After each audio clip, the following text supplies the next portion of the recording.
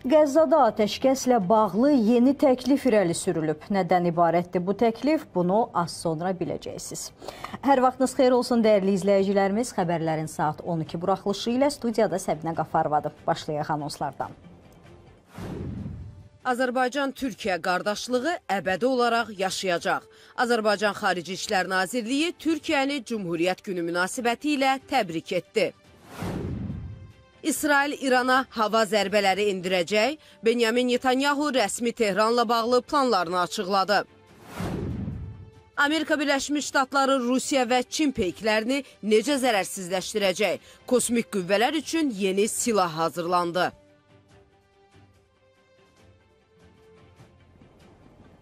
Azərbaycan Xarici İşlər Nazirliyi Türkiyəni Cumhuriyyət Günü münasibəti ilə təbrik edib. Təbrikdə deyilir. 29 oktyabr müttəfiq Türkiyə Respublikasının Cumhuriyyət günündə qardaş ölkəmizin əsasının qoyulmasının 101-ci il dönümünü qeyd edirik. Bu möhtərəm gündə dahi Mustafa Kemal Atatürkün Respublikanın yaradılması naminə aparılan mübarizədə canlarını fəda edən şəhidlərimizin, sağlamlıqlarından keçən qazilərimizin əziz xatirəsini yad edirik bölgədə və dünyada ədalət və inkişaf beşiyi olan Türkiyə, habelə regionda və beynəlxalq müstəvidə təkrarı olmayan Azərbaycan-Türkiyə qardaşlığı əbədi olaraq yaşayacaq.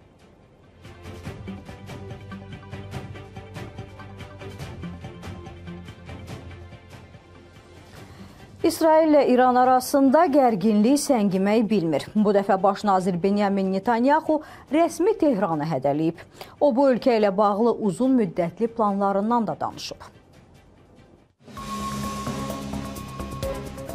İsrailin baş naziri Benyamin Netanyahu İrana hava hücumundan danışıb. Netanyahu vurğulayıb ki, onların uzun müddətli hədəfləri İranı yox etməkdir. Baş nazir uzun müddətli strategiyalarının İranın şər oxunu ortadan qaldırmaq olduğunu və bu məqsədlərindən əl çəkməyəcəklərini açıqlayıb. Netanyahu İsrail parlamenti Knessetdə çıxışı zamanı İrana qarşı hava hücumu ilə bağlı açıqlamalar verib. İrana hava hücumunun hər tərəfli olduğunu iddia edən Netanyahu həmçinin Tehrandakı hərbi bölgələri hədəf aldıqlarını və hücumun uğurla başa çatdığını bildirib. Bu arada Qəzzada atəşkəslə bağlı yeni təklif irəli sürülüb. Amerika Birləşmiş Ştatlarının Mərkəzi Kəşfiyyat İdarəsinin rəhbəri belə bir açıqlama verib. Onun təklif etdiyi atəşkəs 28 günlükdür. Yeni formatın Doha danışıqlarında təklif edildiyi bildirilib. ABŞ-nin Mərkəzi Kəşfiyyat İdarəsinin direktoru William Burns Doha danışıqlarında Qəzza zolağında 28 günlük atəşkəs və onlarla fələstinli məhbusla 8 girovun dəyişdirilməsini nəzərdə tutan atəşkəs üçün yeni format təklif edib. Bildirilib ki, Burnsin təklifinə 4 həftəlik atəşkəs və 8 qadın və ya 50 yaşdan yuxarı kişi məhbusun İsrail həbsxanalarında saxlanılan onlarla fələstinli ilə dəyişdirilməsi daxildir. Qeyd edilir ki, bu ssenari atəşkəs danışıqlarını son aylardakı çıxılmaz vəziyyətdən çıxara və daha əhatəli razılaşma üzrə danışıqlara keçməyə imkan verə bilər. Bu arada İsrail 4 girovun azad edilməsi müqabilində Qəzza zolağında 2 günlük atəşkəs təklifi almayıb. Bunu ölkənin baş naziri Benyamin Netanyahu deyib. Baş nazirin ofisindən verilən açıqlamada isə bildirilib ki, belə bir təklif olsaydı, baş nazir bunu dərhal qəbul edərdi. Qeyd edək ki, oktyabrın 28-də Qətərin paytaxtı Dohada İsrail və Həmas arasında danışıqların yeni mərhələsi başlayıb. Bu 2 aydan çox fasilədən sonra ilk görüşdür. Danışıqlarda ABŞ, İsrail və Qətərin yüksək səviyyəli nümayəndələri iştirak edib. Dünyada silahlanma son sürətlə davam edir. Belə ki, Amerika Birləşmiş Ştatları kosmik qüvvələrin arsenalına yeni silah daxil edəcək. Bu silahın konkret olaraq hansı ölkələrə qarşı istifadə ediləcəyi də açıqlanıb.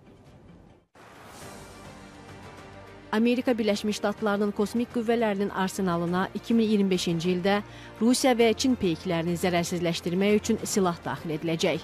Bu barədə Bloomberg kosmik qüvvələrə istinadən məlumat yayıb. Meadowlands adlanan sistemi L3 Harris şirkəti hazırlayıb. Yeni kompleks 2020-ci ildən istismarda olan Counter Communication sistemin təkmilləşdirilmiş versiyasıdır. Qeyd olunur ki, Meadowlands daha çox yayılan tezlikləri sıxışdıracaq. Bunu o yenilənmiş proqram təminatı sayəsində edəcək.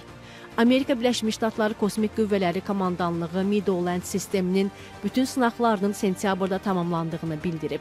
2025-ci ilin birinci rübündə hərbçilər ilk 5 kompleksin nə vaxt döyüşə hazır hesab ediləcəyini müəyyənləşdirəcəklər.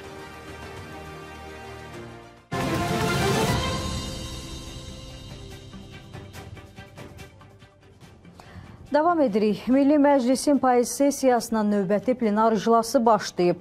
İclas spiker Sahibə Qafarovanın sədrliyi ilə keçirilir. Toplantının gündəliyində isə Azərbaycanın Rusiya və Özbəkistanla əməkdaşlıq və müttəfiqlik sazişlərinin təsdiqi, istehlakçıların hüquqlarının müdafiəsi haqqında, həmçinin bələdiyyələrin birləşməsi ilə əlaqədar bir sıra qanunlara təklif edilən dəyişikliklər və digər məsələlər daxil olmaqla ümumilikdə 11 məsələ yer alıb.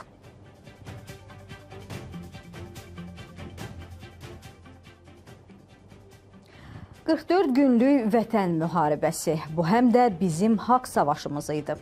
30 ildir davam edən işğal bu müddətdə aparılan danışıqlar heç bir nəticə vermədiyindən artıq Azərbaycanın səbri tükənmişdi. Elə buna görə də 4 il öncə sentyabrın 27-sində xalq olaraq bir araya gəlib yumruq kimi birləşdik. 44 gün davam edən haqq savaşımızın 33-cü günü nələrlə yadda qalıb izləyək.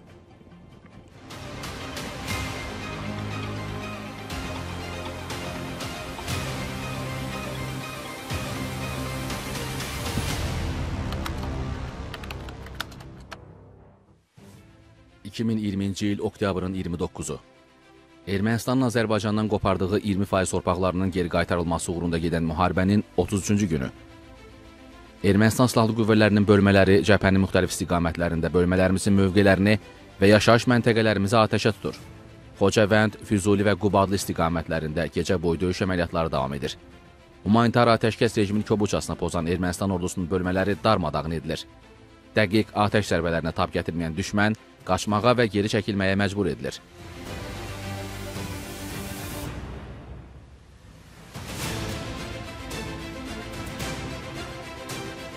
Ümumilikdə düşmənin ordu korpusunun və diviziyasının yüksək rütbəli zabitləri daxil olmaqla xeyli sayda canlı qüvvəsi, 2 ədəd T-72 tankı, 2 ədəd BM-21 qrad yayılım atəşli reaktiv sistemi, 14 ədəd müxtəlif artilleriya qurğusu, 6 ədəd avtomobil texnikası və bir neçə dayaq məntəqəsi bölmələrimizin dəqiq atəş zərbələri ilə məhv edilib. Döyüş meydanında məhv olan bölmələrinə dəstək üçün gələn düşmənə məxsus 2 ədəd Su-25 tipli hücum təyyarəsi hərbi hava hücumundan müdafiə bölmələrimiz tərəfindən havada məhv edilib. Düşmənin bir neçə istiqamətdə hücum etmək cəhdinin qarşısı qətiyyətlə alınıb. Beynəlxalq humanitar hüquq normalarını köbuçasına pozan Ermənistan silahlı qüvvələri dinc sakinləri və mülki infrastrukturu hədəf alır. Səhər saatlarından başlayaraq axşama qədər Goranboy və Tərtər artilleriya atəşinə tutulur. Goranboyun Tapqaraqoyunlu kəndində fərdi yaşayış evinə mərmi düşməsi nəticəsində bir qadın həyatını itirir. Həmçinin Azərbaycandakı diplomatik korpusun nümayəndələrinin olduğu Bərdiyə terror hücumları edilir. Bununla yanaşı Göygöl ərazisində ekoloji terrorlar törədilir.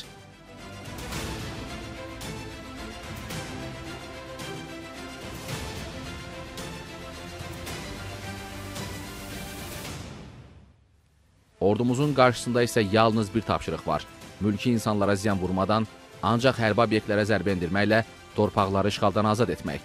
Savaş başlayan gündən uğurlu əksəmlə əməliyyat nəticəsində indiyədək düşmənin xeyli sayda döyüş texnikası, hərbi sursatı məhv edilərək sıradan çıxarılıb və qənimət götürülüb.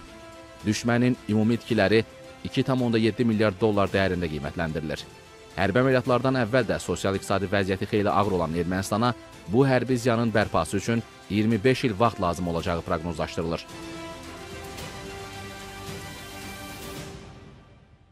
Rəşadətli ordumuz Ermənistan silahlı qüvvələrinin törətdiyi qanlı terror cinayət nəticəsində həlak olan şəhidlərimizin qisasını ön cəbhədə alır. Bərdədə dinc sakinləri atəşə tutan düşmən qüvvələri döyüş meydanında məhv edilir.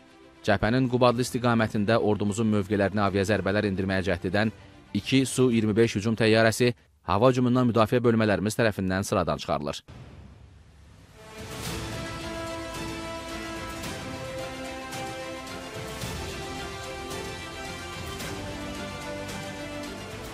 Ordumuzun həyata keçirdiyi uğurlu döyüş əməliyyatları və dəqiq atəş zərbələri nəticəsində erməni cəmiyyətində təşviş, Ermənistan ordusunda isə xaos, kütləvi fərarilik və özbaşınalıq hökm sürür. Könüllülərlə müqaviləli hərbi qulluqçular arasında qarşıdurmalar yaranır. Düşmən hərbçiləri bir-birini öldürür və yaralayırlar. Hərbi qulluqçuları kütləvi şəkildə Qarabağa getməkdən imtina edir və bunun qarşısını almaq üçün həbslərdən istifadə edirlər. Görülən bütün cəza tədbirlərinə baxmayaraq, Ermənistan Müdafiə Nazirliyinin rəhbərliyi etiraz edənlərin qarşısını almaqda acizdir.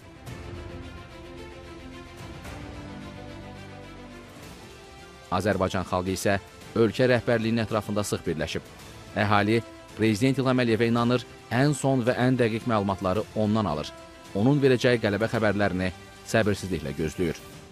Bunu dövlət başçısına ünvanlanan vətəndaş məktublarından da görmək mümkündür. Ali Baş Komandana vətəndaşlarımızdan, xaricdə yaşayan soydaşlarımızdan, eləcə də qardaş Türkiyə və digər ölkələrdən yazılan məktublarda hər kəs bacardığı qədər Azərbaycan ordusuna dəstək olduğunu bildirir. Həmçinin ordumuzun mütləq qələbəsinə inandıqlarını vurğulayırlar.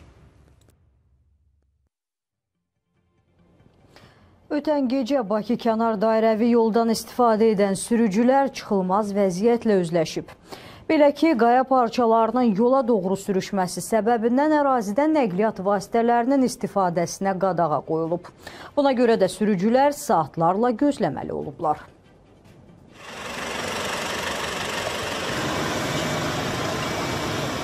Bakı dairəvi yoldayıq. Bəli, Qaradağ rayonu Lüçübədan dairəsinə gedən istiqamətdə oktyabr 28-də axşam saatlarında ərazidəki hündürlükdən iri qaya parçaları avtomobil yoluna düşür və bununla bağlı, bununla əlaqədar ərazidə avtomobillərin hərəkəti məhdudlaşdırılır. Müəyyən təhlükəsizlik tədbirləri əlaqədar avtomobillərin hərəkətinə qadağa qoyulub, sürücülər gözləyirlər, yolun açılmasını gözləyirlər. Saat neçədən burdasınız? Yolun açılmasını gözləyirsiniz? 2 saat gözləyirəm. Elə biləm sabahları saat 1 1-ə 2-yə gün orta çağına girib çıxarıq Cəlilabad zonasına. Yolda təhlükə ümumiyyətlə çoxdur.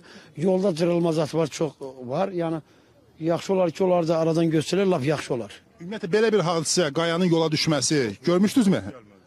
Mən bir 2 ay, 3 ay bundan qabaq bəlkə də 4 ay olar. Onda bir bir dəfə də düşmüşdü. Burada uxa, uxardan düşən məsəl üçün oradan qaya e, yolu keçmişdə aşağı tərəfə. Deyirəm yollar açılmayacaqsa biz protiv qayda çıxaq gedəyimizə, işimizə də bazara gedirdik mal almağa. Xəbərdə bir zınaq qoydular, biz bilərdik fırlanıb geri qayıdarıq. Elə yerdə saxlayaydılar ki, bu millət qayıda bilərdi də geri. Deyir, nəqliyyat budadır, nə, avtobus dayanıb içi dolu sərnişindən, millət burada dayanıbdır, körpə uşaqdan, qadınla. Elə yerdə gəlib saxlayıblar ki, ya geri qayıtmağa imkan yoxdur, ya qarşıya getməyə imkan yoxdur. Neçə vaxtı buradasınız? Hara gedirsiniz? Saat yarım demişdiyə gedirik, saat yarımda tıxacı buraxmır. Heç bilmirik ki, qabaqdan havanı yox, vəziyyət nə yerdədir. Bəli, həmin hissədə baş verib hadisə, iri qaya parçaları düşüb yolun hərəkət hissəsinə və yolda hərəkət məhdudlaşdırılıb. Neçə vaxtdır, neçə saatdır burası? Arısa 1 saat.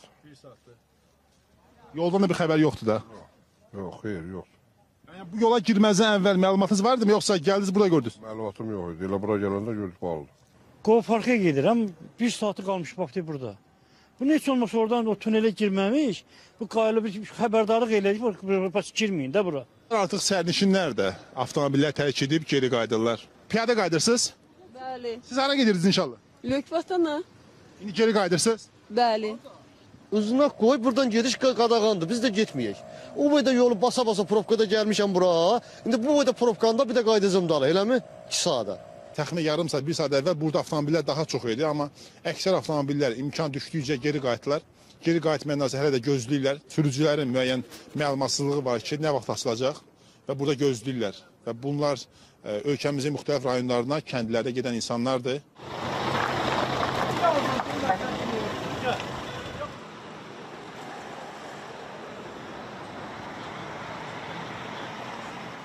Bəli, uzun sürən aradan sonra ərazidə yol açıldı. Təxminən saat 11-10 keçdi və avtomobillərin hərəkətə qoyulan məhdudiyyət aradan qaldırıldı.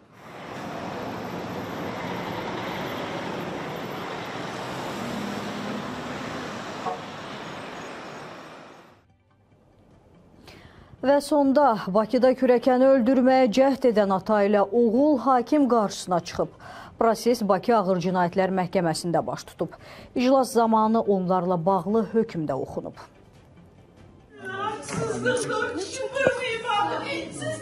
Paytaxtın Suraxanı rayonunda kürəkənini öldürməyə cəhddə təqsirləndirilən Yusif Mahmudov və oğlu Allahverdi Mahmudovun cinayət işinin məhkəmə istintaqı yekunlaşıb.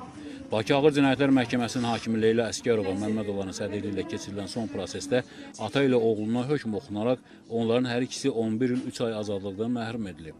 Dövlət ittihamçısı da ittiham nitqi ilə çıxış edərək hər iki şəxsin eyni cəza ilə azadlıqdan məhrum edilməsini məhkəməyə təklif etmişdi. Yusif və Allahverdi Mahmudovlar yeznələri Ağasəlim Məmmədovu aralarında yaranan mübahisə zəminində öldürməyə cəhddə təqsirli bilinirlər. Onlar barəsində Cinayət Məcəlləsinin bir qrup şəxs halında qəsdən adam öldürməyə cəhd maddəsi ilə cinayət işi başlanılaraq ittiham elan edilib. Zərərçəkən kürəkən isə qaynı və qaynatasından şikayətçi olmadığı barədə notariat qaydasında məhkəməyə barışıq ərizəsi göndərərək şikayətçi olmadığını bildirib. Belə dəyərli izləyicilərimiz, bu saatda ölkədə eləcə də dünyada baş verənləri operativ və dəqiq şəkildə çatdırmağa çalışdıq. Siz isə gördüyünüz və sizi narahat edən məsələlərlə bağlı qaynar xəttimizə müraciət etməyi unutmayın. Daim yenilənən xəbərlərimizi isə sosial şəbəkə hesablarımızdan da izləyə bilərsiniz. Həmçinin ekranda gördüyünüz frekansları yığmaqla Azerspace B2 vasitəsilə bizi həm Avropa, həm də Asiyada izləmək mümkündür. Eyni zamanda kabil yayımında Aztelekom və Baktelekomda 10-cu, Citynet-də 18-ci, Connect TV-də 2-ci, KTV-də analog yayımda 12-ci, rəqəmsal yayımda isə 22-ci kanalda, Ailə TV-də IP yayımda 66-cı, rəqəmsal yayımda 16-cı, analog yayımda isə 13-cü kanalda bizə baxa bilərsiniz. Baku TV, ATV Plus-da da yayımlanır. Axtarış verməklə kanalımızı tapıb izləməyə davam edin. Diqqətinizə görə təşəkkür edirik. Sağ olun, sağlıqla qalın.